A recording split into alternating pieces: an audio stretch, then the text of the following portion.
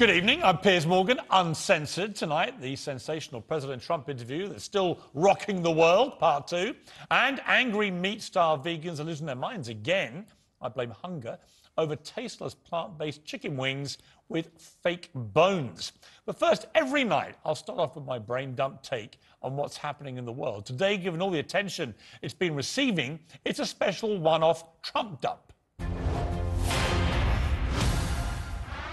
My dramatic encounter with President Donald J. Trump has already become the most talked about interview of the year, inspiring a satisfying avalanche of praise, criticism. That's it for tonight. Remember, keep it uncensored. Good night.